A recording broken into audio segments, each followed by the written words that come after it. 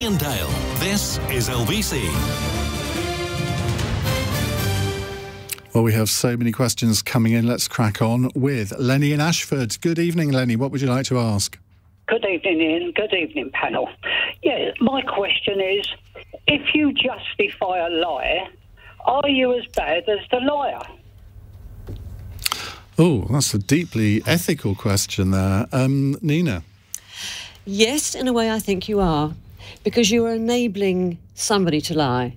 And I think that you should uh, keep your standards um, and you should speak out when you can. Because it's, you know, standards are very important integrity, decency. We all aspire to them.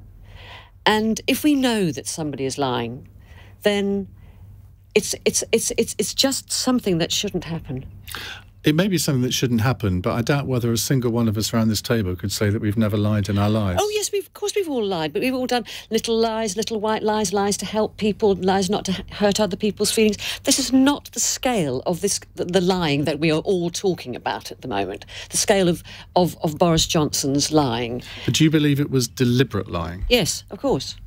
Of course it has. He, you know, he's been he's been he's been sacked twice from jobs before for lying. It's not like this is suddenly we've all suddenly discovered that he's a liar. He's, he is a liar. You know, I'm not in the House of, Commons, so I, am allowed to say that. But the country, but the thing is, the latest poll says that 75% of the country believes he's a liar. What what does that say about us as a country? Why that you... we are prepared to put up with somebody that we cannot trust. And if we, as the people presumably who voted him in, I certainly didn't cannot trust him. How can other people trust him? How can how internationally? How can anybody trust Why him? Why do you think in 2019 that so many people just wrote that off because it was part of Labour's election campaign that look this guy has an ambivalent relationship with the truth. Why Jeremy would Corbyn? why would you vote for somebody well, like that? A. Jeremy Corbyn. Nobody wanted that. Uh, nobody yeah. wanted that. Ooh. Enough heckling from my left. no, no, no, no, no, that's true. But but but also because so many people you know wanted Brexit. And the thing about populist leaders is they have charm they make you laugh. If you look at if you look I'm at sure Donald Trump had a huge amount of charm. No, well, he obviously has the charm that his voters respond to. It's that you know we don't understand it, but they do. They respond to it on some kind of visceral level, and to, he has that charm. And, you know, I remember when he was mayor of London, you know, uh, before he was dangerous. And we, you know, we thought, oh, good old Boris and his Latin jokes and his piffle and whiff-waff and all that nonsense. Oh, you know, he kind of shows us off a treat, really. He's an, he's an individual, he's a character. And then you saw sort of da-da-da-da as it got worse and worse. and we thought, oh, my God, this is real. Um, but that, but so that the charm coupled with Brexit, coupled with Jeremy Corbyn, there you have it. Okay, John Redwood. Let's go back to the question: Are those who are justifying the lie as bad as the liar themselves? I don't think it's a good idea to justify something you know is untrue, and in politics, you only have your word to go on, and if you debase your word, that does get difficult. Uh, but we do see people in senior positions feel they have to sometimes be flexible with the truth. I mean, Keir Starmer, for example, was strongly recommending Jeremy Corbyn as the ideal man to be our Prime Minister in 2019. I'm not quite sure that reflected his thoughts at the time, and it certainly doesn't reflect his thoughts today, but I think most people can understand why he took that liberty with the English language. But for example, Brandon Lewis was out, I mean, Cabinet Minister was out on the airwaves this morning and was likening this to a parking ticket or a speeding fine. And we all know that if you're part of a government, you have to defend your colleagues, and you will have had to do that when you were a Cabinet Minister, mm. defending John Major sometimes when possibly uh, you didn't particularly want to. I was always did it in an authentic way. I would find something I could believe in or support. I, I was not very willing to go and support the things I didn't believe in. Uh, Siobhain, that, that's quite an interesting analogy, isn't it? Because, of course, you, you were standing as a Labour candidate in the last election, ostensibly supporting Jeremy Corbyn to be Prime Minister, but we all know, knew you didn't believe a word of it. But I don't think a person alive, particularly not Jeremy Corbyn, didn't think I supported him. no, that is true, but I've always had a bit have... of a problem with being a bit straightforward about leaders. It goes back before Jeremy Corbyn. Which is it? Yeah. Do you remember the stuff around Gordon Brown? No. Oh, that's another story. We're not opening up that, Lenny. I won't be telling you about how he sacked me on TV. Did he? Yeah. I deserved I, it. Yeah. I, did you? What did yeah. you do? Come on, you've got to tell us. Now. oh, this I, is very uh, exciting. I, I, I wrote a letter um, to the General Secretary of the Labour Party suggesting there should be a leadership election in accordance with the rules. And when right. would he be issuing uh, the letters uh, to cause that election? That's not really a clever idea if you want to stay a whip, is it? No, no, I would have to admit. but do, do, you think that lying in our politics now is more commonplace than it ever used to be, or do you think that maybe because of social media, it's just amplified more? I think you know to get by, we all you know we all in whatever walk of life, you know, as Nina said, you know, perhaps to protect people, perhaps just to have an easy life, but. I just think what's going on at the moment is now so debilitating that, you know, what impact are we having on young people looking at mm. politics, whether they want to become involved in it? I mean, we all know that our Prime Minister lied because he thought he could get out of the problems with the Partygate, lied and lied and lied, and then started to say sorry. And it's just so debilitating. And when I think about people in the constituency who are, at the moment, they're terrified about whether they're going to pay their gas bill whether they're going to feed their kids, you know, people with waiting lists for child and adolescent mental health services, whatever's going on. It's a really hard time out there. And to have somebody at the head of your country that you can't trust with the small stuff, how do you trust them with the big stuff? Okay, Christopher Hope, are you are you bored of writing about Partygate because you, have had a, a, a, few good stories out of it, haven't you? Yeah, we never stop. I think I I didn't. It's a great question, isn't it? It goes back to the idea of what is truth and your truth. And it's, it's, a lot of the younger generations and ours talk about, well, I'm offended, therefore, you know, that's my truth. And I think the idea of what is truth is the question mark that we're seeing played out all the time on Twitter. And if you if Boris Johnson believed when he was drinking his beer in the garden that he was actually following the rules, then then that's his yeah, truth. But he didn't, did he, Chris? He can't but possibly have. But that's what he. That, as the original question from uh, as re-put by Iain was what the Peter Bone question in the House today was: Do you believe you deliberately broke the rules? He said no, and upon that, hangs all the defence from the Tory party that John's nodding away uh, of, of, of, Boris Johnson. It goes back to the last contempt of Parliament investigation by this Privileges Committee, which will decide on Thursday, or well, MPs will decide whether to give it the power to investigate. Was into um, uh, John Profumo, and it's about whether when he was having sex with Christine Keeler, did he think did he think at the time he was doing it or not? You know, in the sense of when, when Boris Johnson had the beer in his hand, do you think I'm at a party or a work event? And it goes back to what is his truth. And no, it goes to the fact that he doesn't. This is what's happening. Chris, I'm, I'm, I'm, not justifying. There's, there's, right no, Chris, wrong. It's there's not, right and wrong. In this case, it's black and white. It's right and wrong. You can't say it's his truth or my truth or their truth. It, it, there is the truth, but and think, there is a lie. I think there's another thing going on, and that is the rules of the little people. They don't apply to him. They don't apply to the people around him.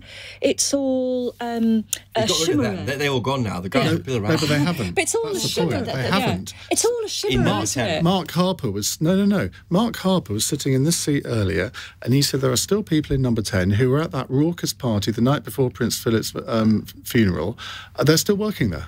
Now, they may not be in the most senior positions, but there are plenty of people still working there. And so you do have to question why that is, I suppose. Look, let's take an allied question on this. Lenny, thank you for that. Let's go to Ulf in Hamburg. Um, Ulf, what's your question, please? Good evening. Good evening, panel. Good evening, Iain. My question is Is Boris Johnson the Prime Minister of the UK deserves? Now, that's a slightly double handed question, isn't it? Because just explain why you ask it. um, frankly, Boris Johnson is just about the worst person imaginable for that job. even, but he got voted in democratically. Um, well, basically, I think you Brits need to have your nose have your nose rubbed in what you're doing. Uh, for years, you have been very hostile to the European project, all the lies, all the gaslighting, all the scheming and plotting, the trying to divide and rule.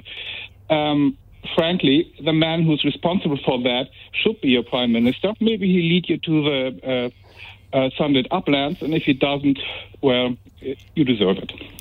John Redwood, we got the prime minister we deserve. Well, we got the prime minister the the nation overwhelmingly supported in the 2019 election, and I think we we got Boris Johnson uh, because he was on the majority side, the Brexit side in the referendum. Uh, he was seen by the Conservative Party, by the membership in particular, as the man who would cut through after um, a parliament had deliberately tried, tried to thwart the wishes of the British people and thwart the Brexit vote. And that is exactly what he's been doing. And, and that is why he got the big support he got and why the Conservatives are enjoying a majority of over 80 seats as a result of that general election. Indeed, we not only had to win the referendum, which we did in reasonable style, but we had to win two general elections in order to find a parliament that would do the decent thing and understand the democratic wishes of the British people.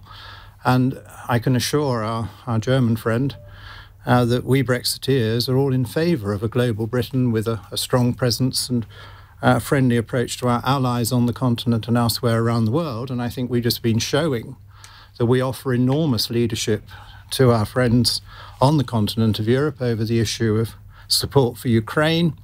And indeed, we've been singled out and praised by the American allies, who are obviously the senior allies with the most resource, who have also been very helpful to Ukraine, as being the other country with them that has been leading Europe in this very crucial uh, question of how we, through NATO, can offer enough assistance to help Ukrainian resistance without triggering a much wider war, which none of us want. Can, can you imagine in the next few weeks if the Prime Minister gets other fines and the Tories do really badly in local elections?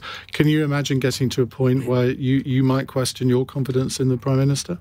I was always taught not to go into hypotheticals in politics, oh. and we can never be sure what tomorrow might bring. It might bring great news, Iain. Why don't you give me well, some might. counterfactuals that it, it, say might. Boris is going to have a great but, success? But, That's also but, possible. Because I think it's unlikely. But That's John, in the, old days, you talked about Brexit being a great thing before we left. Why not talk about Boris Johnson and his future before it happens? Well, I'm I am very positive about what this government can do now that COVID is receding and we're getting back to a much more normal life. Uh, and I'm lobbying and trying to persuade the government to have a much bolder economic agenda. I think they need to do more to tackle the cost of living crisis. I've been um, trying to persuade them with others to sort out our energy problems because there's no reason why the UK should be as short of energy as the continent of Europe is because we've been blessed. Uh, with great resources of, of wind and oil and gas and coal and all the rest of it. And we need to get out the transitional fuels for the next 10 years because over the next 10 years, most people are still going to have a gas boiler and they're still going to have a diesel or petrol car. So, much better to get our own energy out and to make a contribution uh, to dealing with the shortage and the high prices in the world. And of course, work away on how you can have a transition to something greener uh, and a more electrical future, but that is going to take time. It requires a popular revolution. It can't just be done by governments. Okay. We will only have an electrical revolution when you've got an election. I'm not quite sure. I'm not quite sure what country John is living in, but it's certainly not the same one as me. We've seen the biggest tax hike since the 1940s, the largest drop in living standards since the 1950s. We've got people who are absolutely terrified about what next October is going to bring for their gas and electricity Which is why bills. I want more to be given. So, I mean, the idea that it's all kind of sunny, uh, sunny way forward is completely for the birds. We're going to have the lowest growth rate next year of the second lowest of the G20 countries, only second to Russia, who's going to have the worst. So the idea that things are going well, you know, our, con- our economy is contracting, um, our people. Uh, don't know which way to turn. I think life is very, very miserable for lots of people at the moment. Okay. Well, our economy well, grew faster than all the others uh, over well, the last year. Well, because it started um, as lower You base. and I actually agree about something. We think that more ought to be done for people who are facing the hit from uh, the increase in fuel prices, and, and I'm very okay. keen that they can do so, and I'm hoping they will. I don't see why they wouldn't. We'll come to Chris and Nina after the break and come to more of your calls. 0345 6060 973. Lots of the calls, very similar subjects at the moment. So if you phone in with something a little bit different, the chances are you'll get on as a tip. 17 minutes past eight. This is LBC. From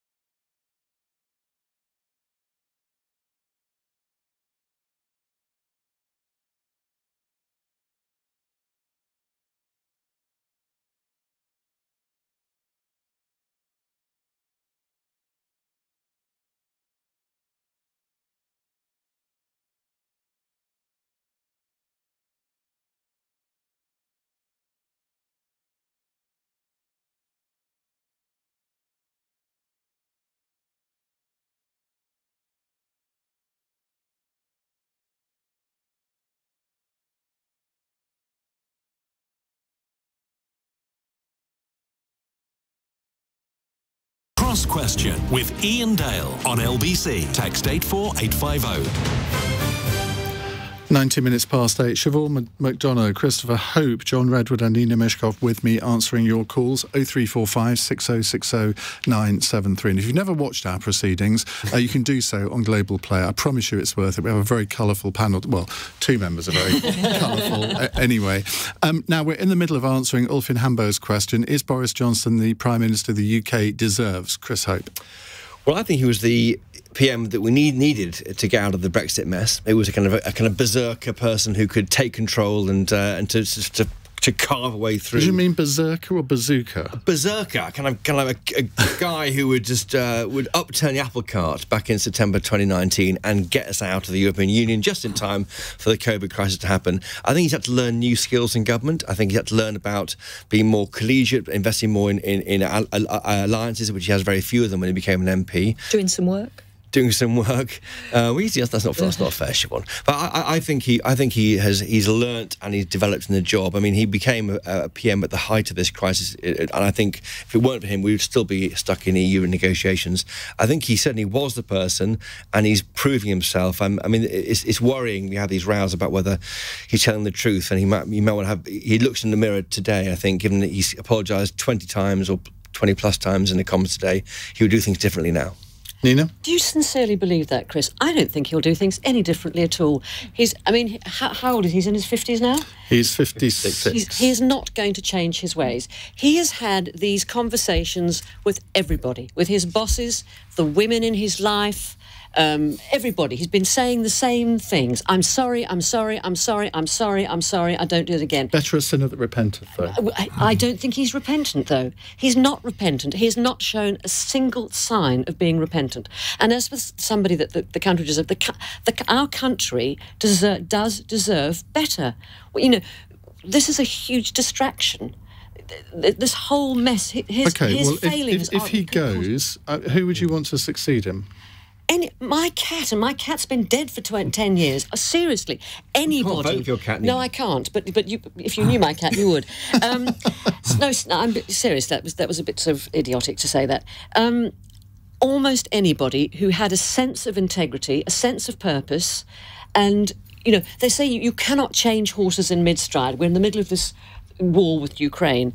France is in the middle of a general election. They haven't cancelled that, and they're coping very well this, that is just. The trouble is, leadership elections in the Tory party can take five or six months. So what? The thing is, if Boris Johnson fell under the proverbial bus tomorrow, do you think for an instant that the outcome of the war in Ukraine would be changed?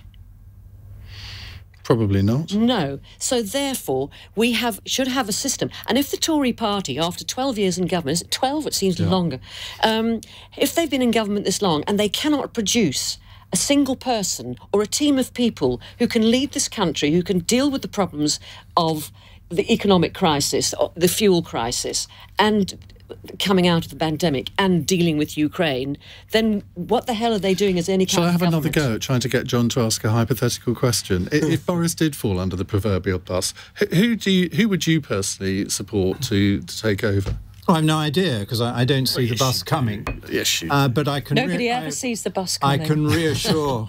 Well, sometimes you did for Gordon Brown. I, I, remember seeing the bus coming, political bus coming for Mrs. May, and I was actually helping drive it. So um, uh, that does happen from time to time. Um, but no, I think the Conservative Party has a range of talents. There would be quite a lot of people who would want to take over as leader when a vacancy comes. Yes. I mean, lots who would want to, but who are, capable? who are, you are they capable? John against John Major. What's your advice to you against standing against an incumbent Tory Prime Minister, given you've done it?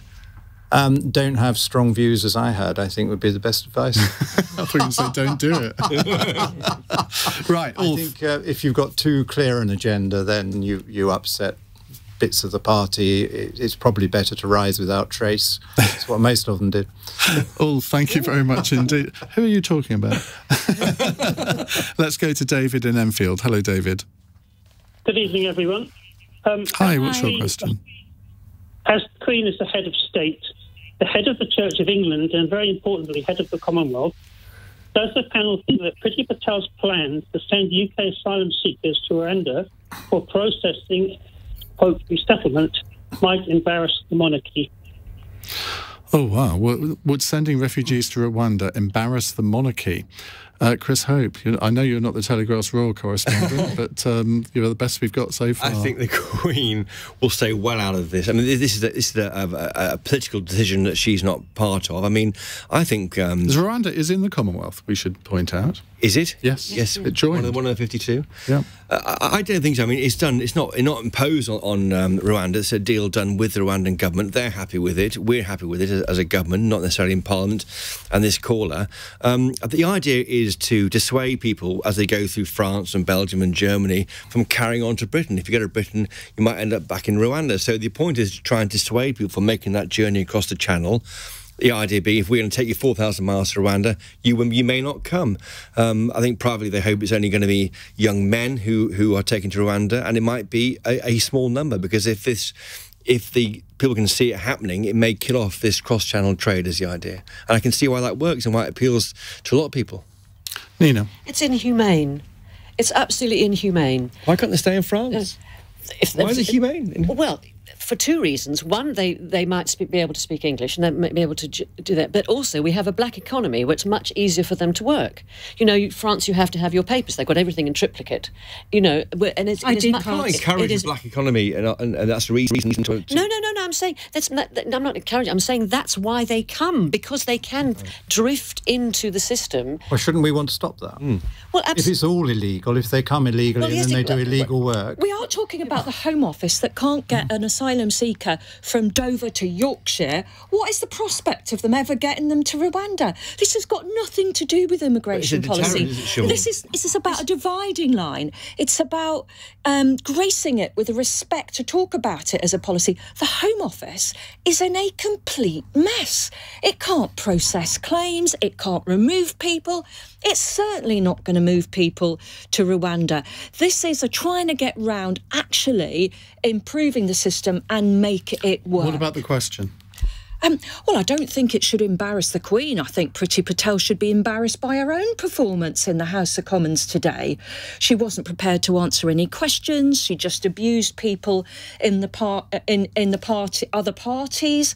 You know, I mean, this is just a political dividing line. It's about dividing us as a community rather than addressing a problem that I completely accept is real. If you want to stop people coming in boats, you've got to do um, you've got to do uh, negotiations with the French, which may be easier after this Sunday's election, so they can get on with it. You need more police, for God's sake. You need somebody who is actually going to prosecute uh, the people tra- traffickers. Because in the last year, how many do you think we've successfully prosecuted? Two. Two. But why? Why and is in 2015, that? Because the French, the Belgians, the Germans, there were 59 ourselves, we know who these people are. So why aren't they being prosecuted? Well, you would have to have police, and you would have to investigate it. And this government are not great at employing the police or getting them to investigate very much. John. Yes. What would you like to know? I'd like to know the answer to the question from David. Well, no, I, I, don't think it's embarrassing to the Queen at all. She is above politics, and this will be settled by a, a democratically elected Parliament. Um, I think the, the questioner is a little misinformed because we're we're not talking in the main about asylum seekers. We're often talking about economic migrants who have money, who pay uh, people traffickers, who then put them at great risk uh, in a rather evil trade. Is it two thirds who who actually finally settle here who are not illegal? Yeah, well, two thirds. Between two thirds and seventy-five percent yes, are actually yeah, but that's rather asylum. different from them being in, in the plight of an asylum seeker, because of course these people are coming from France and so they are coming from a safe country. So the first question but they're perfectly is, entitled to why don't they why don't they exercise their right to apply for asylum in France if they don't like the terms on which we might? Offer? I've just said one. I've just given you two reasons why they don't want to settle in France, and they're perfectly entitled to move on to the country as as the 1951 Geneva Convention allows them to move to the country of their choice, to move through countries to get to the country of their choice. That is part of the Geneva Convention of 1951. And we offer legal routes for people people who are genuine asylum seekers. As the Home Secretary explained in the House today, um, uh, tens of thousands of people have, have done it the legal way and have been welcomed and adopted into our country in recent years. And there are those legal routes. We are talking about people who have money who choose to take an illegal route, which turns out to be very risky and dangerous for themselves quite often, rewarding people traffickers whose business needs to be closed down I, I think good criticisms have been made of the police forces and prosecuting authorities around the continent. Uh, and remember that we have been in endless negotiations and agreements with France. Um, with with French French agreement, we put up all sorts of barriers to people uh, getting on the back of lorries because that was a very dangerous way of coming. And we had quite a lot of success in dealing with that. Uh, and we pay money to the French to try and go and hunt these people down because these are criminals on the French side. They're not on our side. It's not our police force who are failing to find these people in, in London or Dover. It's it, these are people operating on the beaches of Belgium and France.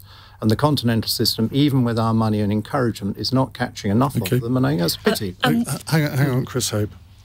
Well, yeah, I mean, I, I think I think I kind of agree with what John was saying. Really, I think the, I think it's an attempt. I was going to ask Siobhain what your idea was, Siobhain. I mean, at least there's an attempt here. You can't just more money into policing, more money into um, that kind of thing. I mean, this is an attempt, a, a big bazooka to try and deal with a problem which has plagued this country for ten years.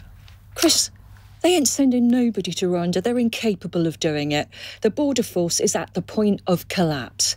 I can't, as I'm a, a London MP, I constantly deal with immigration casework. I direct message poor old Kevin Foster, the immigration minister, more than anybody else, saying, "Could you have a look at this one? This one's been hanging around for years."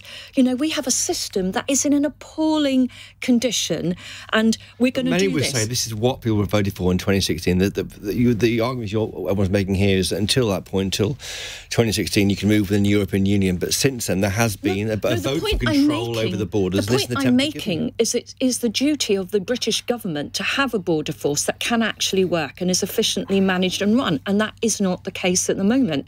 And I Well, take then up why are you Nina's blocking point. changes I'm to taking, legislation I'm to make it work? I'm talking. Um, uh, actually, I'm not voting on it because I actually chaired the committee uh, stage of the bill, uh, but. Uh, Nina's point about pull factors. If you want to sort out a pull factor, get an ID card system, because Oh, you know if if, you, if you're in France, you, you need your ID card. You can't go Have you anywhere been talking to without Jacqui it. Smith lately? I think you must have. Yeah, as you know, I frequently talk to I know, Jacqui Smith. I know but, you do. yeah. She's indoctrinated you. Um, now, I don't really right. understand this, but George says the more I listen to Christopher Hope, the more I want to sell him a chocolate fire guard. I've no idea what that means. I hope it's not something rude. Anyway, we'll come to more of your calls in a moment. 0345 6060973. It's 8.31. Let's get the latest LBC News headlines from Helen Hodinott. Former Chief Whip and Conservative MP Mark Harper has told Boris Johnson he's no longer worthy of being Prime Minister after being fined for breaking lockdown rules. MPs will vote on Thursday on whether to investigate the PM over allegations he misled Parliament. Boris Johnson told the Commons today he offers a wholehearted apology. Theresa May has criticised the government's plans to send some asylum seekers to Rwanda. The former Prime Minister says she doesn't support the proposals on the grounds of legality, practicality, and efficacy. Russia has seized its first Ukrainian town since launching its new offensive on the east of the country. Officials in Luhansk say Ukrainian forces have withdrawn from Kreminna as fighting continues across a 300 mile long front. LBC weather turning drier overnight, leaving most areas clear, a low of one degree. This is LBC. Whether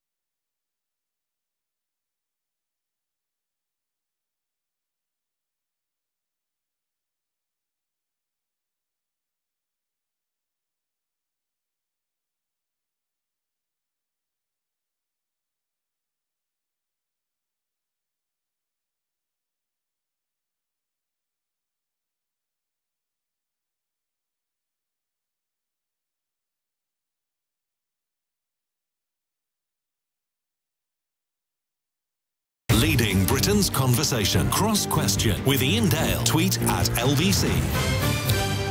It's 8.35 on LBC. Siobhain McDonagh is with us, Labour MP for Mitcham and Morden, serial killer of party leaders. Uh, Christopher Hope, Associate Editor Politics at The Telegraph and host of the Choppers Politics podcast. 30-minute elevator pitch for your podcast. Oh, Sorry, thirty seconds. not 30 minutes. Every single um, senior politician you can imagine every week in the pub and me, and it's breakfast, it's coffee, and it's a great chat, and it's like this, kind of relaxed. You get a lot of news lines out of Well, them, don't yes, you? You don't have to go toe to toe to get the best Yeah, stories. exactly right. John Redwood is Conservative MP for Wokingham, former Cabinet Minister, and he has a daily blog at johnredwood.com. Um, blogging is a bit old fashioned now, isn't it? But you, you, you stuck at it all these years, unlike many others. Well, I have because I, I like paragraphs. I like to be able to develop an argument and give people some facts and information and analysis, and you can't do that in the tweet. I do tweet the blog as well because I do understand there are some people short of time who just want the headline, but uh, I recommend the story. You were one of the first bloggers, Iain, weren't you? Oh, back in the day. You really were. Yeah, like Iain 20 Dale's years blog, ago. yeah. Yeah, it was You a long time it. ago. Uh, Nina Myskow is with us, broadcaster and writer. We know each other through appearing on the Jeremy Vine show. Yes, and of we course, do. I remember you as sort of nasty Nina back in the 1980s on New Faces. And you had a newspaper column which you um, would be quite critical of people. I, on. I was a TV critic, yes. Yeah. And no, I mean, I, I think you all you have is your your critical opinion, and and and your um, you have a duty to be honest. I mean, there's this kind of theme through there, um, and uh, and sometimes I could be brutally honest. You could, indeed. Right, let's move on to another question. It's Harry in Waltham Forest. Harry, hello. Good evening, Good evening, panel. My question is, what do we do next after Putin has been allowed to crush the Ukraine and turns his eyes on the Baltic states? Well, you're assuming that he will win in Ukraine. Um, Siobhain, do you think that's inevitable? I don't think it's inevitable. I mean, it it's extraordinary to watch the Ukrainians and their fabulous prime minister and the strength that they have gained uh, as a nation out of this terrible thing happening to them. So, um, I have been amazed that way countries have come together to support the Ukraine. Um, personally, I'm a bit of a hawk on these things, and I would have had a no-fly zone. Uh, but I don't think we can be surprised by Putin. We watched what he did in Syria, uh, we watched what he did in the Crimea, and we just looked the other way. And we're we reaping that whirlwind and trying to to get back to some sort of respectable state. You, you mentioned Syria there. Of course, it was your party that scuppered any action in Syria. Uh, Ed Miliband. There's another another leader that you didn't like. Well, another leader I think didn't Keir Starmer, right. you need to watch your back. no, I thank God every day for Keir Starmer. Do you? Yeah. I didn't vote for him in the Said no leadership ever. election. No, I say uh, because he's doing his best. He's bringing bringing the party to a position which is much more respectable that you don't feel ashamed of. Um, and I think it's important for democracy. I think it's important for the government. God help us to have a proper opposition. And, that's he's been quite hawkish on to. Ukraine as well, Yeah. hasn't he? I mean, yeah, it's sorted out all the NATO, you know, the anti-NATO nonsense that some people in Labour can can try. Uh, so no, I, I, I think I think you look at Ukraine and you know, just nothing but admiration for the bravery of Um, those w- people. if he did win, I mean, let's look at the awful prospect of, of him winning in Ukraine. Do you think he would then automatically look elsewhere? I mean, for example, as Harry says, the Baltic states. You've got to think it's a possibility, don't you? Which is why he mustn't win. One of the re- but for the Ukrainians, but additionally, i- in order that he gets stopped and his expansionist plans get stopped, and he understands that there is an opposition, that the West is just not going to be weak and turn away. Okay, Nina. The thing is, this is kind of p- part of Putin's long-term plan. I saw um, a documentary on um, BBC Four on on um, on the weekend or the weekend before uh, called Putin in the West, which I think was made about ten years ago, and actually could have been made now because you see the long-term project that you said all just folding out before.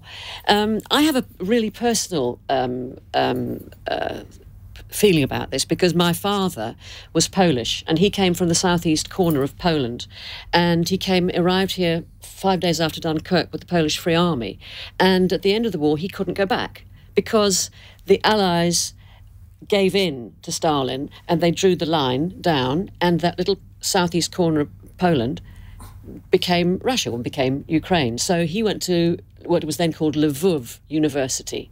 It's Lviv. And so that was there. And they lost all their lands. My, my grandfather was transported, they were all transported back over the line to where they had nothing. My, my grandfather uh, survived in a cellar for a year eating mushrooms. And that was it. I still have family in Poland. So that so I feel so I've been brought up knowing Russia's So you're actually essentially half Ukrainian, you could say. no, I'm not. But I mean, but Well, yes, no, I, but, yeah, I mean, could given say, where it yes, is given now. where it is now. Yeah. Yes, I am. Yes, I am.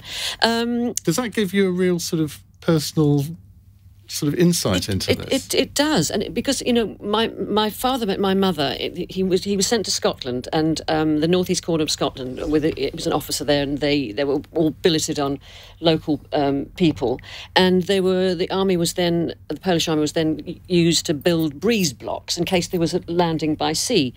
And he met my mother, who was then at, at uh, university, and uh, she remembers that the night that um, Russia came into the war on the Allies' side, and, you know, Mother Russia. This was the great thing. So she went to meet my father that night, and she she said I was so happy, and uh, he, she said he'd, she'd never seen him more depressed, and he said I know that's the end of. That's the end of Poland for me. That's the end of it. And one of his fellow officers committed suicide that night. Wow. So I have been brought up with that knowledge, with somewhere, you know, I- you know, my brother and I used to joke with my mother, you know, oh, Reds under the beds, you know, ha ha ha, blah blah blah, Reds under the beds, you know, it's, it's you know, Russia's not a great big bogey, but it, but it's been planted there a long time ago. But have, and hasn't Poland done absolutely amazingly with all the, the refugees? If you think Yes. they've almost had a million and a half now Yes. in a small country, not wealthy, taking them on and looking after them, I think they have just. Um, we've done some fundraising for our local Polish Families Association to to send money to help Polish people deal uh, with Ukrainian refugees, and people have just been so generous. John. I don't think um, Putin would attack a NATO country. I think he would be very ill advised to do that. Um, NATO has already strengthened their defences by putting more troops on the ground in the frontline states close to Russia and has sent a very clear and unequivocal message that uh, were Putin to send forces across borders into NATO countries, there would be a very large uh, response with the full might of all the allies in NATO responding. So I don't think that is at all likely. like others, uh, I, I've been very moved and impressed by this very dogged and successful resistance so far that the people of Ukraine have, have shown. And their one plea to the West is to supply them with more of those crucial weapons that can try and restrain the, the tanks and the the the, um, the big guns that are shelling their, their towns and cities so so badly, and they've had a they've had a very important interim victory because they have obviously um, removed the siege of their capital city and forced depleted Russian forces to concentrate now on the poor Donbass, where they think they've got the best chance of trying to flatten enough and kill enough people to claim they've captured the entire area um, and then presumably try and sue for some kind of peace on that basis. But it doesn't look at the moment as if Russia has the, the capability uh, to uh, take the whole of Ukraine by force of arms, and they, they know that they don't have anything like enough troops to provide an army of occupation, given the very hostile attitude of those Ukrainians uh, who've remained and are fighting in their country. So I, I think we, we are in for more of this very punishing warfare. And the more that the, the West and the international community can apply pressure on Russia, the better, because they have to be pressurized all the time in the media war, in the information war, that their, their conduct is not only completely unacceptable, uh, but that it is self defeating. Because if this is a country they wanted to liberate and want to govern, how can you govern a place where the people all hate you that you haven't killed, and most of them are living underground in fear of you? And most of the buildings have been demolished and economic activity in the leading cities has been halted. I mean, it, is self-destruction as well as uh, such a, a, dreadful thing on a humanitarian basis. So uh, I, I, I, don't look forward to the next few weeks because I think yeah. we're still going to see more brutal war. But I think it's great that Ukraine has made such a strong point, and I think NATO is quite right to say so far and no Okay. further. Chris Hope. I'll be really quick. I mean, I, I completely agree with what John's saying, but we are going towards a degree of partition, aren't we, in Ukraine? At some point in the future, there'll be the two sides will fight themselves to a standstill, and then what does what does uh, what does the West do? What does NATO do? NATO can't um, sign up Ukraine as to be a NATO country, but perhaps we'll, we'll be so heavily arm arm it without being in the country as a NATO NATO supporting country. Then that's the future. But so, so you effectively reward Putin by granting him a bit of Ukraine. Well, because Rachel Johnson said that on LBC a couple not, of weeks ago, and you should have seen the reaction to that. So watch the Twitter feed later. Not saying not saying reward him, but well, I can, is. I, I mean, he would have had territory is... which he wouldn't have had before. Well, obviously, we keep encouraging Ukrainians to fight back against Russia, but, but, but the NATO troops can't get involved. So at some point, that, that battle may may end, and we end up with partition, but by by, by default. Right, we'll take more of your calls in a moment. It's eight forty-five. LBC. Nick Ferrari at breakfast. I was joined by Northern Ireland Secretary Brandon Lewis, and I tried asking him for a percentage of his staff that work back behind their desks. He didn't know the answer. Doesn't that speak entirely about what the problem is now? They don't actually know what the staffing is of their own department. What do you do all day? You must have seen that this morning. You must have thought as you went out on the round, God, it's the front page of this paper, it's the front page of that paper. Well, I've got Belfast here, and I've got Summer here, and I've got Liskeard there, and I've got Upper Whoop Whoop. What a pile of cobblers. Nick Ferrari at breakfast. Back tomorrow morning from 7. Listen on your radio and on Global Player. LBC.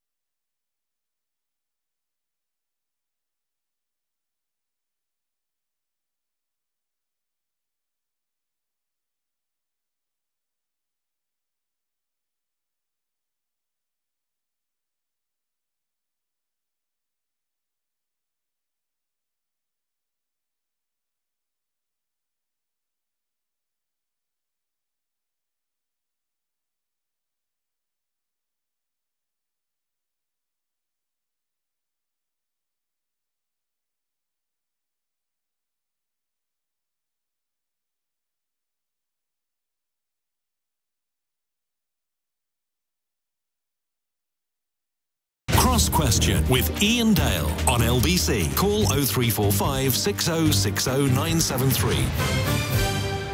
Siobhain McDonagh, Chris Hope, John Redwood, and Nina Myskow with us answering your questions. Let's go to Andy in Tunbridge. Hello, Andy.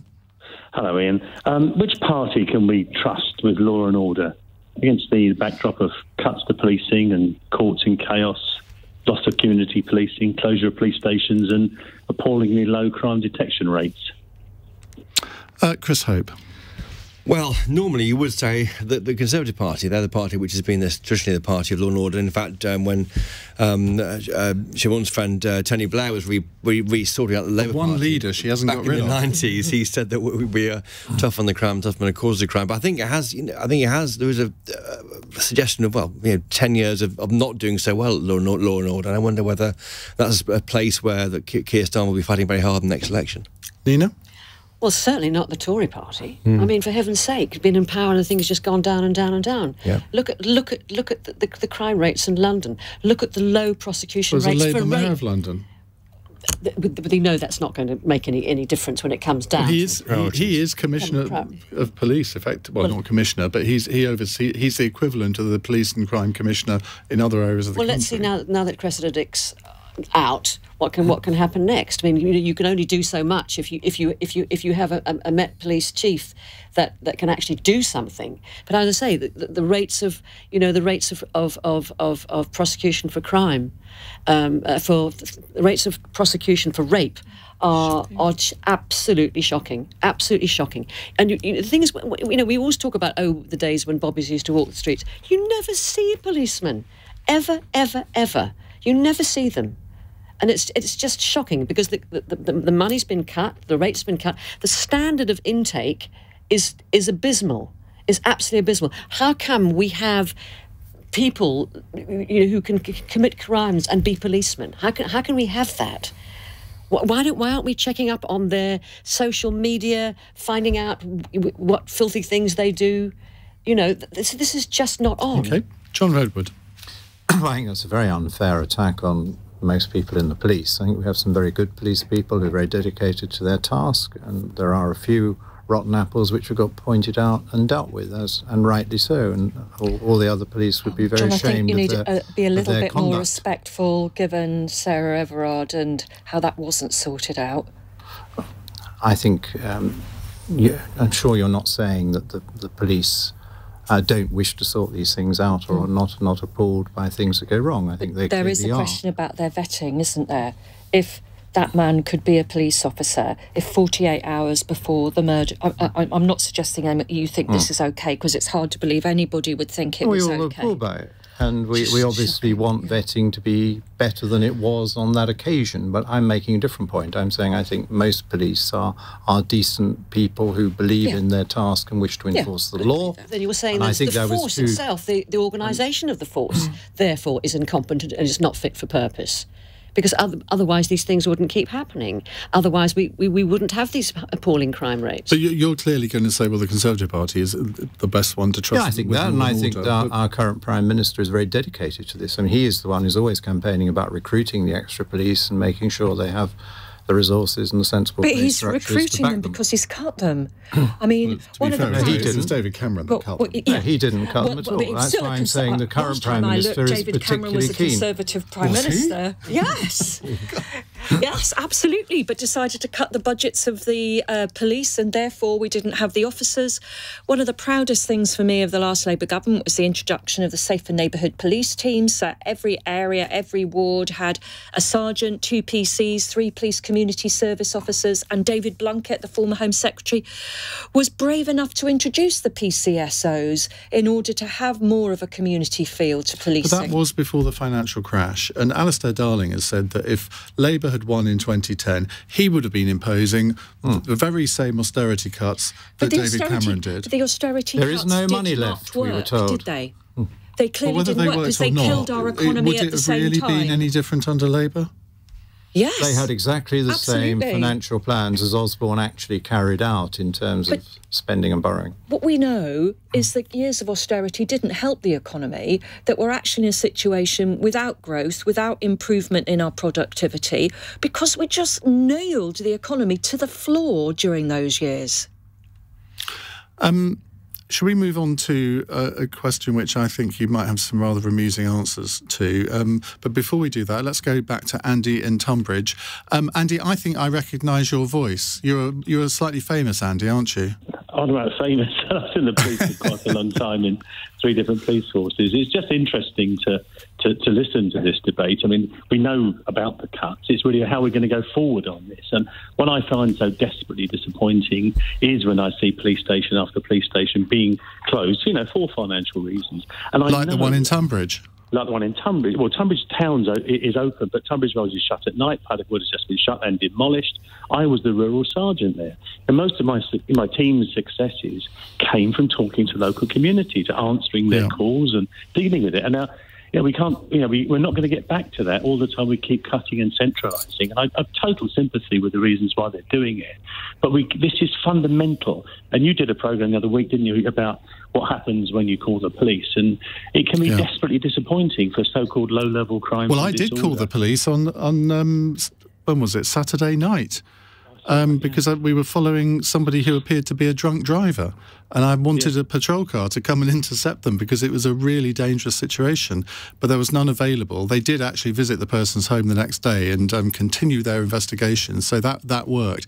But that is the thing: when you call the police, you kind of expect an immediate response, but Yes. you, you often don't get it for some of the reasons that have been articulated today. Um, nobody's spoken up for the Liberal Democrats' tr- police policy. Andy, are you going to do that? no, I mean, I just listened. Sarah Jones was talking about this sort of return to community hubs the other day. But the trouble is, the police are under huge demand. Every single report that comes out says they've got to spend more time on whatever else it is. But and we all know that public sector is under pressure. But this is a fundamental right of people to be to, to call the police to get an answer and to get their crime investigated, no matter how minor. Chris, you wanted I was going to ask you that. And, and did you think? Do you worry about priorities in policing? Uh, worrying about um, you know different different um, uh, LGBTQI um, anything really? You know, did you worry that they that like all big um, organisations are getting distracted by by by virtue signalling when in fact what people wanted to see is a policeman on the street, someone who can answer Iain's call. No, I, I don't. I mean, the, the time taken up by that is tiny compared to what is published in the papers about it. I mean, police custody suites will, will be packed tonight. They're packed every night of the week. The, the police are working their socks off. And they, but they are rushing from call to call. It's what we just fire brigade policing. And your uh, Iain's experience of the night is common to so many people. You want to call the police. You want to tell them about a suspicious person or whatever, and find they cannot respond. We can't just blame them. We've got to do something about it. Um, and yet, in a time when we also know that the whole public sector finances are under huge pressure. Andy, thank you very much for your call. He was former Chief Constable of British Transport Police, you know. uh, right, uh, let's go to a text question from Margaret in Crouch End. Is the government's plan to cut train prices by half a joke, as the online video with Grant Shapps would suggest? Now, if uh, many of you won't have seen this online video, but Grant Shapps, the Transport Secretary, has made this video promoting the fact that lots of fares are going to be cut uh, over the next month and encouraging more people to get back to going on the train. Um, now, Chris Hope, you're the only one on the panel that's actually seen this video. Just explain it, will you? Well, I loved it. It's uh, a green screen, which means that the background can be anything. You can be there can be pictures of anywhere, uh, Egypt, I think, outer space, and and Shapps is hurriedly trying to put on clothes to match the, the green screen. It's very funny. It's like a kind of um, Ant and Dec sketch you might see on Saturday night. I think Shapps does it very well. You know, he's the born salesman that we remember when he was Tory Party chairman back in the in the in the teens under David Cameron. I think it's fun. I think he's of all the Tory ministers, I think he's the one who's taking the fight to social media and demonstrating, you know, half price rail fares off peak. You know, what's not to like? But if, of course, when a politician has a little bit of fun in terms of trying to promote, I mean, if it was just saying, "Well, I am the Secretary of State for Transport, and I'm going to tell you, ladies and gentlemen, that you can get some bargain fares," well, no one's going to watch that, are No, they? it's true. And yet, when they do these slightly off the wall things, people then have a go at them for not taking things seriously. Nina. Well, it's not a question of not taking them, se- them seriously, but it- it- the time spent on doing that, couldn't he have been doing something oh, else? Oh, please. I mean, please. no, Come on. seriously. Well, we're all talking about it, so it's working, isn't it? it's it's working. It's it's it's off peak and it's. You're, a, you're a former TV critic. Yeah. You should like this stuff. It's like acting. Do you know? I- There's just something rather unedifying about it. You know, it's just a bit cringy. Oh, dearie me. What a miserable way of looking at it. Why not have a bit of fun and let people get some cheap rail fares? What's the problem? I'd rather they, I'd rather rail fares were cheaper all the time. We've had extortionate fares. We've had you well, know, then you're going to get catastrophe. rooked on your taxes even more than you are at the moment. well, because the- they got to pay the bill nationalise somehow. nationalise the railways, and it Well, they are nationalised, Siobhain, Well, well, no, properly. I've not se- I've not seen the video. If it attracts more people to get on the train, it's fine by me. Go on, have a have a look at it after the show. Yeah. It is worth. It's it's on my Twitter feed. It was sort of earlier in the day. I retweeted it. If you want to have a look at it. There are a lot of um, seats to fill, and the mm. railways have been losing a packet ever since COVID hit because their main business has collapsed.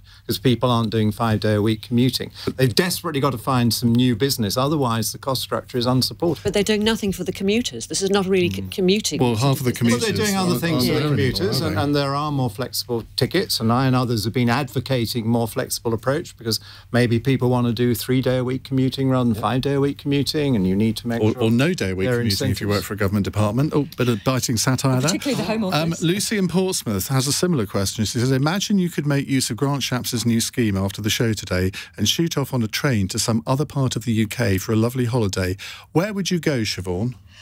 Um, uh, we had a, a school friend of my sister's come and stay for the weekend, and she comes from Corsands in Cornwall. So I Oh. think I'd like to go there. Okay, John? Yeah, I'd like to go back to Cornwall. I think it's a great place, and the weather's at last warming up. Be really nice. Cornwall does feature in the Grant Shapps video. You See, it's working. Two of you want to go there. Chris? Without seeing the video. Liverpool. I'll go Liverpool. Some of my, my, my parents. It's Liverpool. Uh, I'd say I'd say Cornwall too, but if you say too many people say Cornwall, the entire west of the country is going to tip into the sea.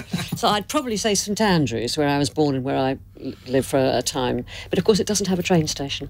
Does it not? No, Leuchars, RAF Leuchars next. Well, there you go.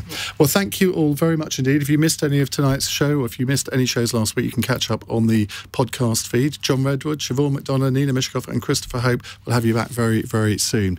In a moment, we're going to return to the subject of the day Boris Johnson making an apology in the House of Commons. But of course, there is some analogies to draw here with, with Nicola Sturgeon because she has been criticised for not wearing a face mask. Can you believe?